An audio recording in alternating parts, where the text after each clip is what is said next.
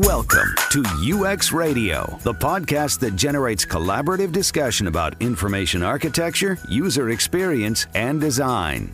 Marcia J. Bates is Professor Emerita in the UCLA Department of Information Studies. A fellow of the American Association for the Advancement of Science, she's a leading authority on information search, human centered design of information systems, and information practices. She was editor in chief of the seven volume Encyclopedia of Library and Information Sciences, third edition, and is the recipient of many awards for her research and leadership. In addition to her teaching and scholarship, she's been a technical consultant to numerous organizations in government, foundations, and businesses, including technology startups. Here are your hosts, Laura Fedoroff and Chris Chandler. Hi, and welcome to UX Radio. So, we are really looking forward to our conversation today. I'm your host, Laura Fedoroff. And I'm Chris Chandler. Good morning, Marcia. Good morning. I have to say, it's always a pleasure. Uh, I had the pleasure of working with Marcia at UCLA back around uh, the, the turn of the century, I like to say now. Sounds so funny. Um, I, Marcia, sometimes people are uh, they don't understand when I when I talk about the connection between what we now call user experience and uh, library science. There's often a puzzled uh, look I get, and I'm curious if you could if you could talk about sort of you know people are surprised that librarians are so digital. Right. Yeah. We're the original information people, which I'm proud of. There was a time when, if you wanted to find something out, you couldn't look up on Google. Uh, your best chance to find it was to go to a library. Now, that's way more complicated and difficult uh, than searching on Google. And so it's very understandable that we have all resorted to Google.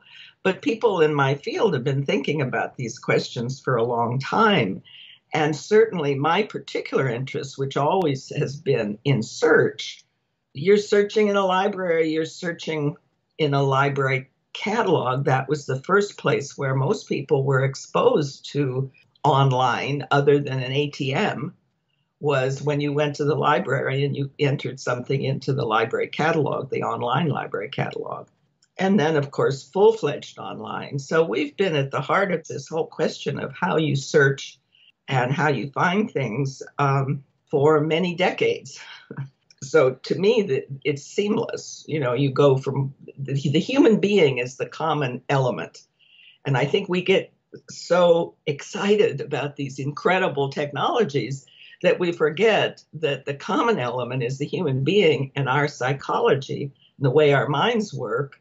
And that stays.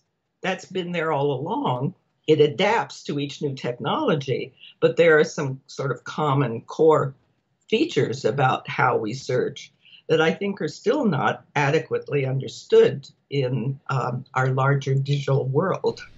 What do you think is the main misunderstanding there? I think a, a couple of things. One, you you assume that you come up with a term and you enter it in your search box. Um, what actually happens then is it's a psychological thing that happens that makes it actually more difficult for you to think of another word besides the one that you thought of initially. And we're used to entering that word and getting a bunch of things back, and we assume that's it, you know, very straightforward. But in fact, you're often interested in a more complex topic, and you put in just the first word you could think of, but it didn't occur to you that there are dozens of other closely related words that you might have entered and that would have gotten you completely different stuff. And I, I came up with an example here of suppose you're interested in the whole migration controversies that we're having right now. Well, you put in migration, and if you try that on, on Google, you'll see all the entries have migration prominently featured in them. But it might be that what you're really more interested in is uh, sanctuary, you know, finding, applying for sanctuary, or you're interested in um, refugees, flight, deporting, borders, defection, resettlement, diaspora, relocation, settlement camps, forced migration, internal migration. You know, all of these are closely related terms And once you've thought of one of them, it's actually hard to think of any of the others. And a basic psychological principle that everybody ignores is that recognition is much easier than recall.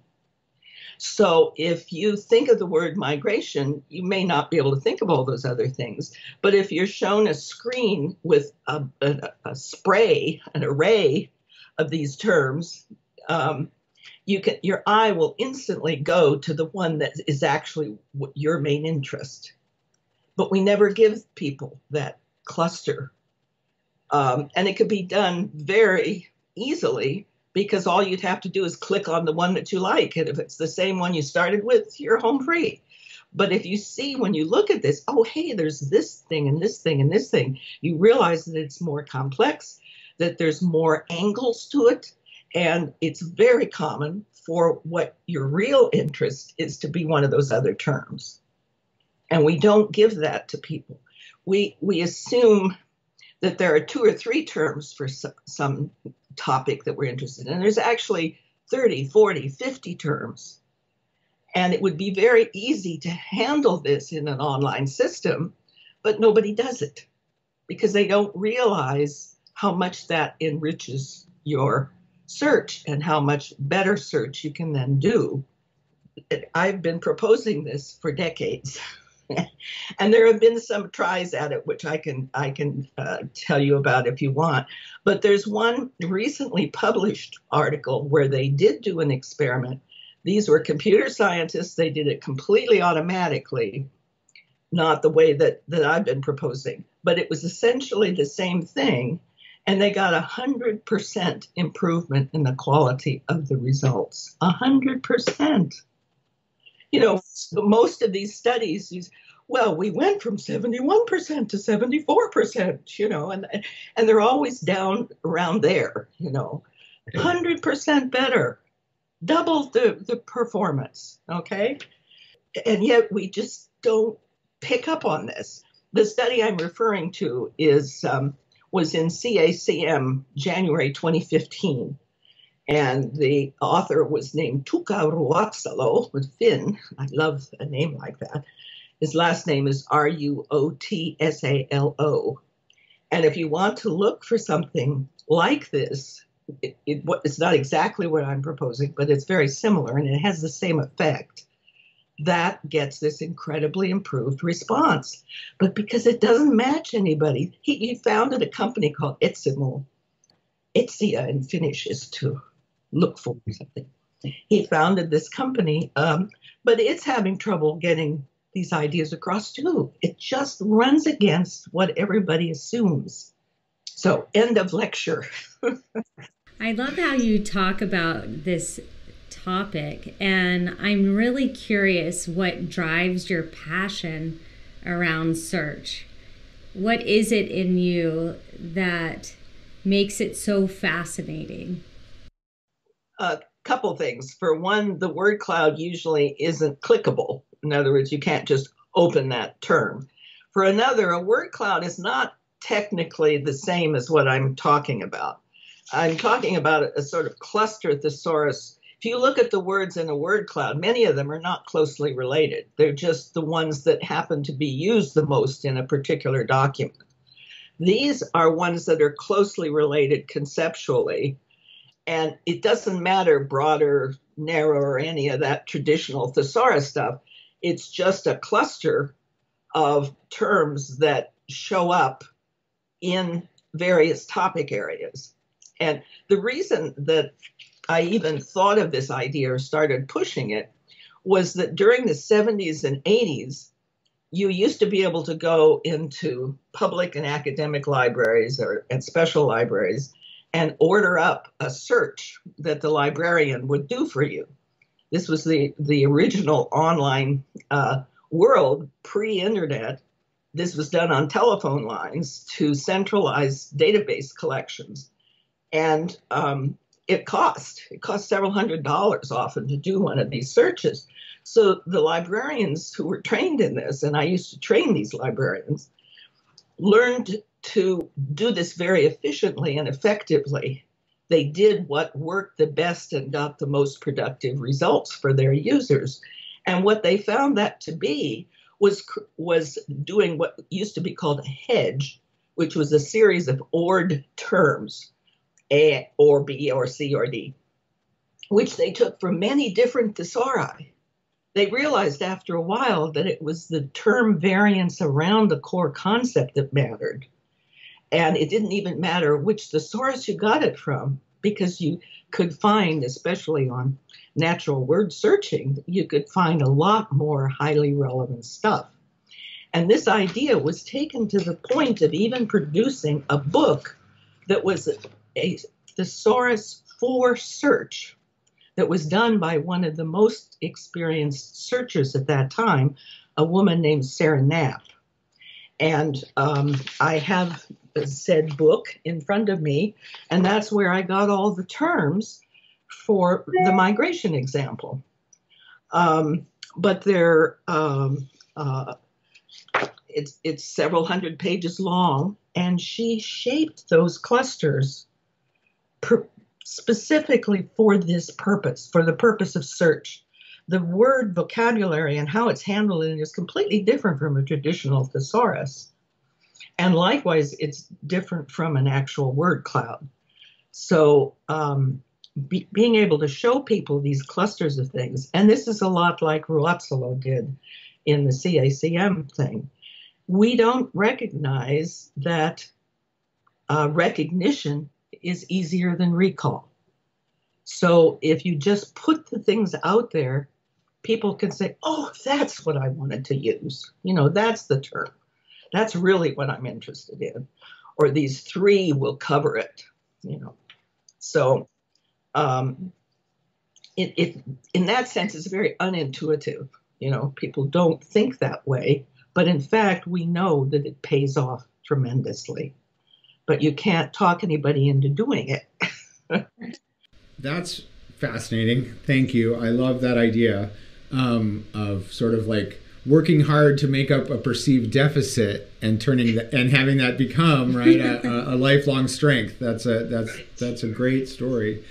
To go from the dawn of the Cretaceous age into our hyper modern 2019 milieu, um, I think people might be tempted to think to themselves, well, why do I need a human being to work on clustering search terms? It sounds like something I could just get a machine to do for me.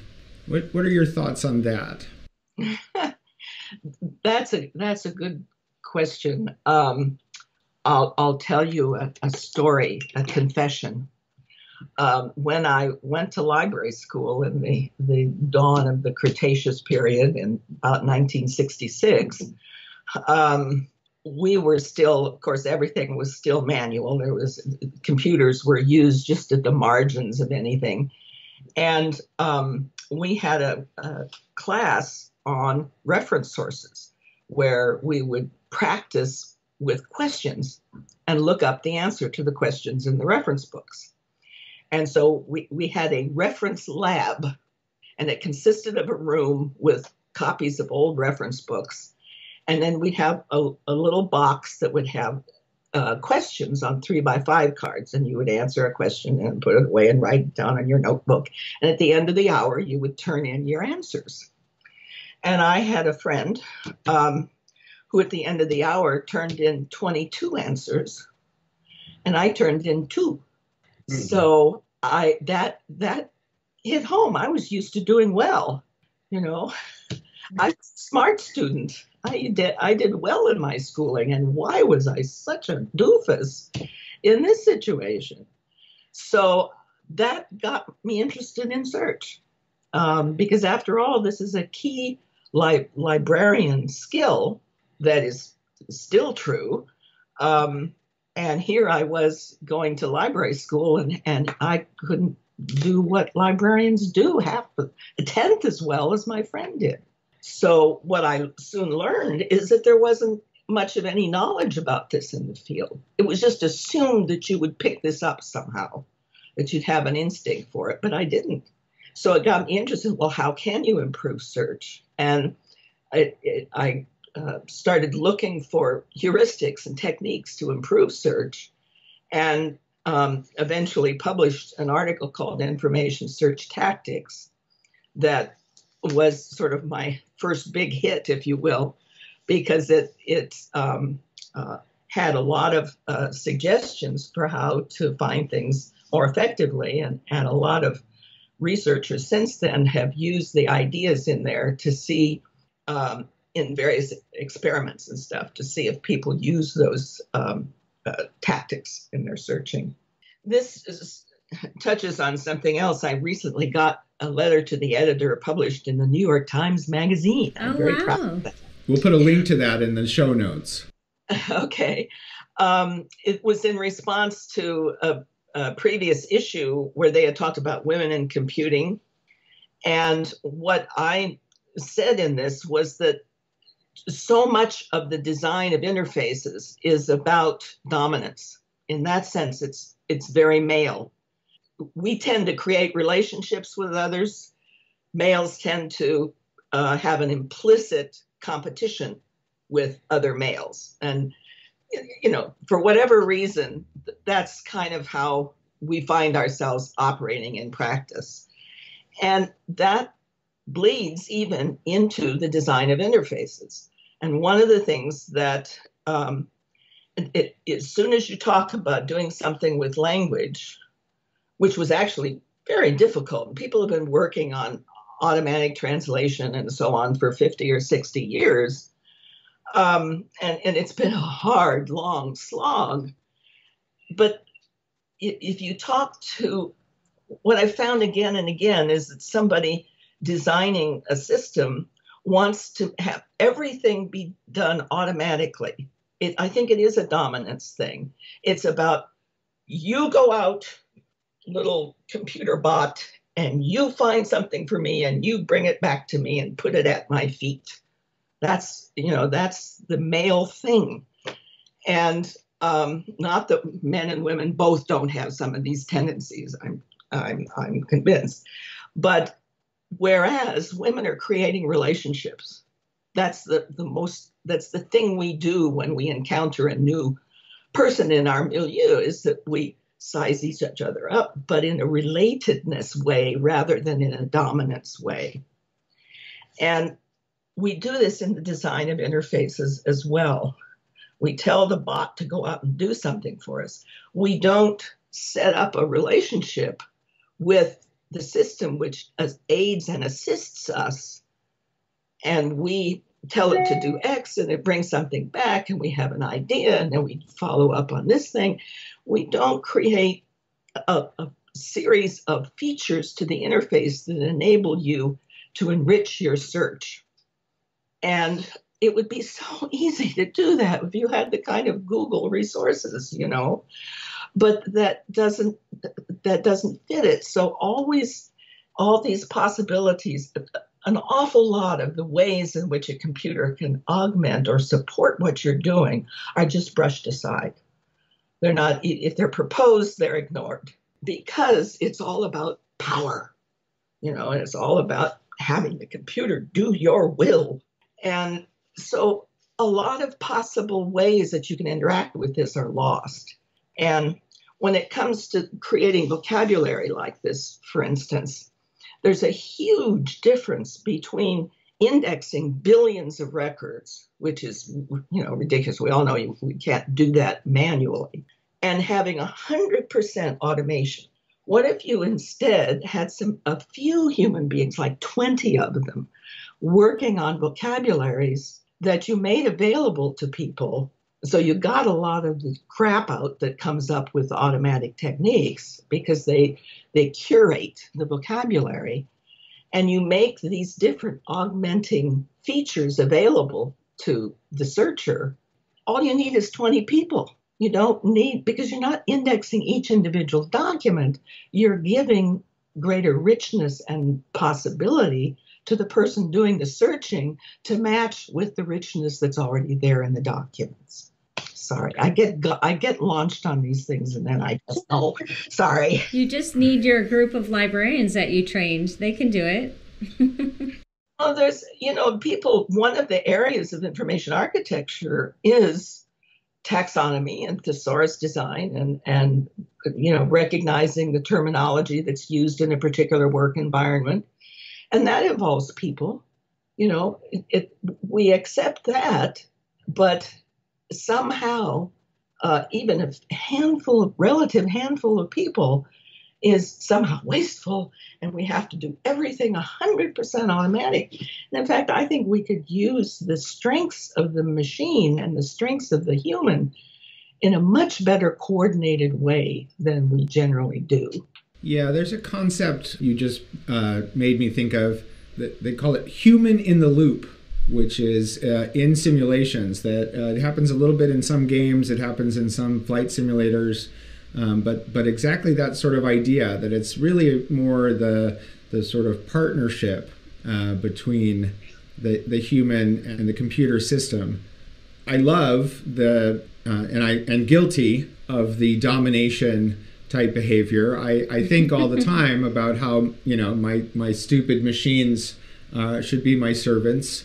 Um, I think uh, so. So thank you for that. Library science has been a traditional field for women professionally.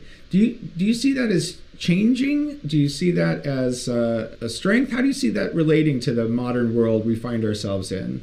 Well, I think that's another one of these um, unfortunately gendered areas of our lives. I, I think an awful lot of the wisdom of research over these past decades of people dealing with human beings going to reference librarians and going to systems and and having different features and affordances in the systems that you've designed uh, and coming up with results for what does and doesn't work and so on there's a huge amount of that research a huge amount of research about how people search for information and think about information and interact with people and takes information away from an interaction and so on.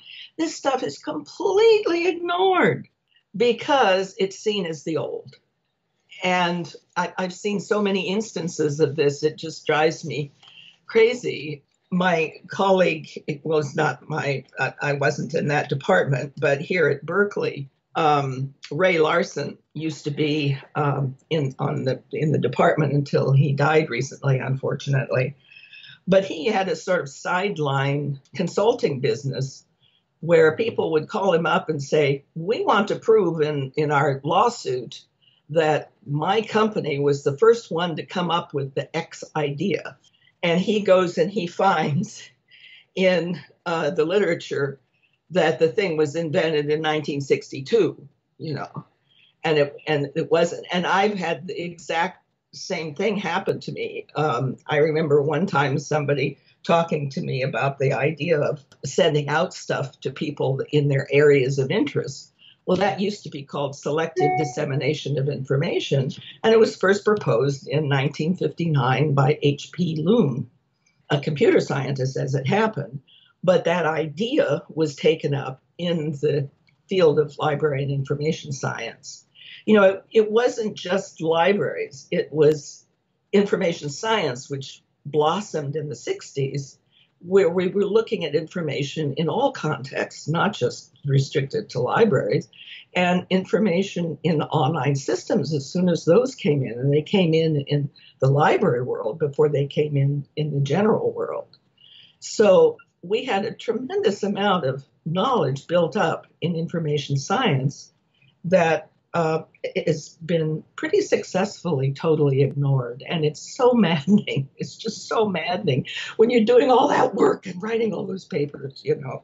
And one of the reasons I think is this stereotyping of, of the field. If the word library comes up, then it goes instantly to the stereotype of the female with the button at the back of her head and the, I don't know where that came from, but it's it's reinforced every Christmas in that Jimmy Stewart movie, It's Wonderful Life, where if he hadn't lived, his wife, she wouldn't have found another guy to marry and be happy with. You know, she would have been totally bereft if he hadn't lived. She would have lived out her life as a lonely librarian and they show her locking the door of the library at night when she leaves and that's how she spends the rest of her life you know, so these stereotypes are just so maddening. And there was another thing. The, there was an article by Nicholas Lemann in um, the New Yorker about some new feature that the smart engineers at Google had figured out. It was dealing with the problem of, say, one term meaning several things, like Mercury is a god and a car and uh, a substance and so forth. And th- they went off and they solved this problem. Well, sorry, folks, but people have been thinking about that for many decades in vocabularies. And we had solutions, some manual and some automated. And, you know, sorry, you weren't the first to think of this. But when you think of something, it feels so new, you just assume that you're the only one who's ever thought of it. Computer science versus this ghastly stereotype. How do you think we might go about changing that perception? Um, you need somebody with much better marketing skills than I have or than people in my field tend to have. I mean, it's it's clear that that this really is about marketing. Uh, we have unfortunately let the outside world uh, create our image and uh, have not done very much against it. We tend to be sort of recessive personalities often. And it is about marketing because what we do is so is so often exactly the same thing that somebody is doing that they're getting uh, five hundred million dollars of funding for. Excuse me, we thought about that in 1982, but they get the funding and we don't. So that's that's the difference. It, it really is image, image, image, image.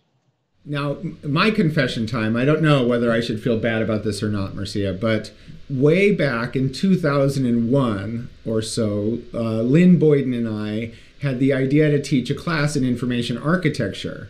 And, yeah. uh, right, so uh, Lou Rosenfeld and Peter Morville, librarians at Michigan, wrote a book called Information Architecture for the World Wide Web. Yeah. And over the last 15 years or so, uh, I've recruited many library science students and graduates to come into the tech world. And I have to say, at first, I thought, what an amazing thing, what a resource. Here are these incredibly smart, talented, dedicated, mostly women, uh, in these classes. And I, uh, Lynn and I come in and we say, well, you can go work at a tech company and make maybe twice as much or three times as much in your starting job. And so I, I I've always had this like uh, you know dual feeling of like on the one hand I think it's great on the other hand I wonder how other librarians feel about this uh, connection between the library the library's uh, students and and the tech world. How how have you seen that? How has that appeared to you? Well see from the very beginning i when i got into the program in 1966 that was the beginning of what was then called information science.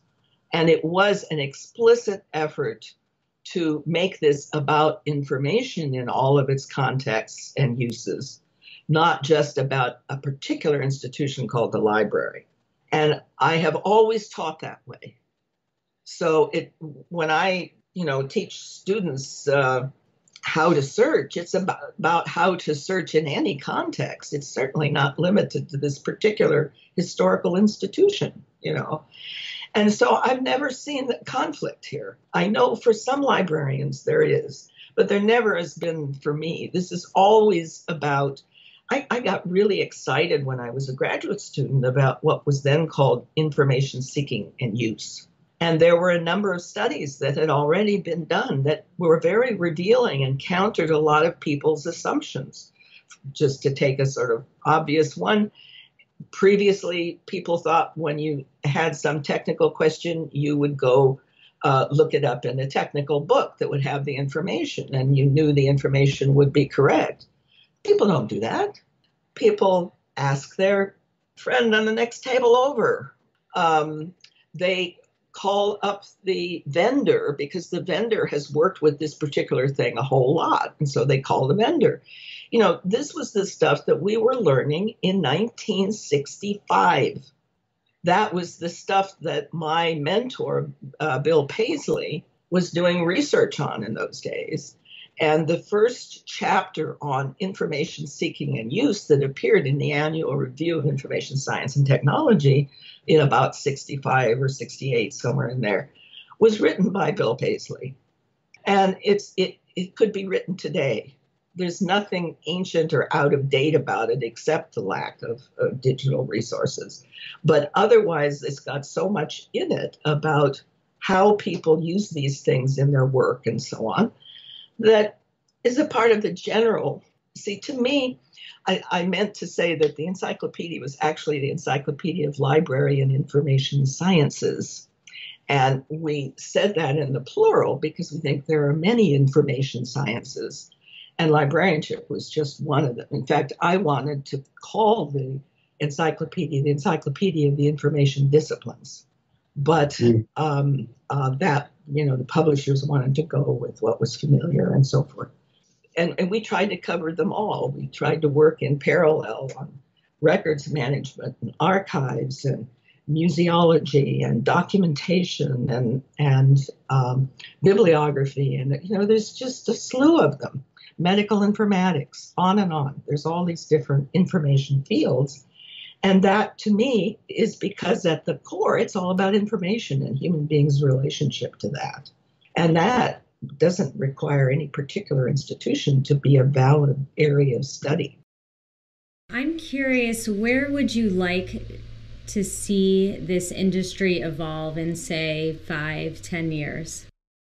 Well, I, I certainly think it's unfortunate that so much of the information about us as people has been commercialized and seen only for its commercial possibilities and just completely blowing away privacy and and ways of helping people. It, people are not put at the center of the the information world nowadays. Instead it's all about making as much money off of their data as possible. And i think this has got it really wrong. I, I, think it would be great if we could find a way to turn that around and have a field that was focused on the people. And that I think remains the strength of the different places around the country that call themselves iSchools, which is taking the information focus, but also taking the people focus, because it's looking at human beings and their relationship to information for the sake of the human being, not for the sake of making money.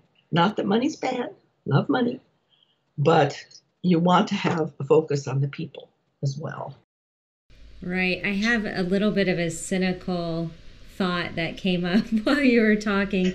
It's mostly around search engine optimization and it it feels like a very competitive game to get your search results at the top of the page. Right. And uh, I I have known some colleagues who were a director of taxonomy, but the goal was winning the competition.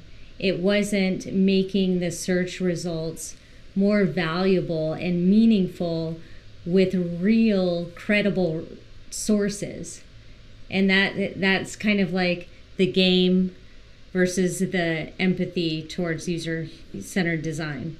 Yeah and I think that's that's probably the biggest thing that's been lost in rejecting the whole world of libraries and and the traditional focus on information was that it was about service. It was about helping people and how can you best help them? And that is just totally blown away in this. And i think it's really unfortunate. Again it's going into this competitive thing instead of actually connecting humans instead of just claiming it's connecting humans. Marcia, we have a standard question that we like to ask, and uh, that is how do you see your legacy uh, to this field? well, you know, it, it, it's um, it's very much um, on my mind because I'm 76 years old, and I am seeing all the ways in which I'm not current with some of the stuff that's happening in the field.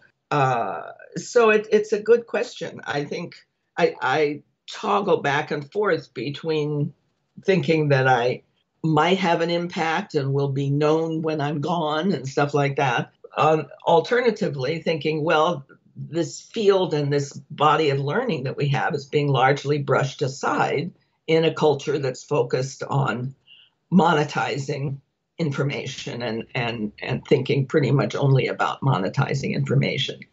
So i you know i could be the be the little thing that gets um, washed to the side and is forever forgotten except maybe some history student gets interested in it sometime or someone who continues to have impact because at some point, somehow, the field gets excited again about the people at the heart of this and decides to focus on the people and put the other stuff aside.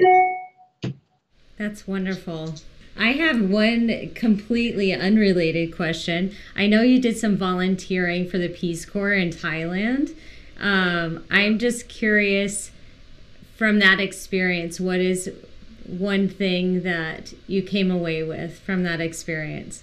Oh, wow. Many things I came away with. Um, I had been to Europe as a college student and had dealt some with, you know, the shock of a different culture and stuff like that. But when I went to Thailand and was in upcountry Thailand, it was, you know, triple that. I mean, it was so different. And it really taught me that stuff that you think is just human is often just your culture.